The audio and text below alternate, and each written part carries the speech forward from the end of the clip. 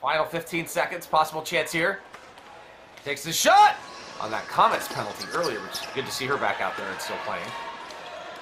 Killing and possibly going for a short-handed opportunity. Passes is they're just getting sticks in lanes. Now here's a chance maybe. Rushed in on the backhander and she scores!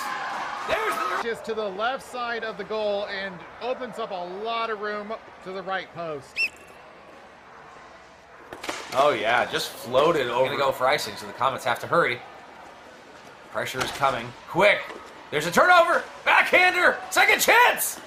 Third chance! Stays out! Has some support there with Murphy. There's a turn and shot. Gresham had to look for it. Down in the butterfly. You can lift this up. Now low high. And want the one timer in the low slot. But Timeout.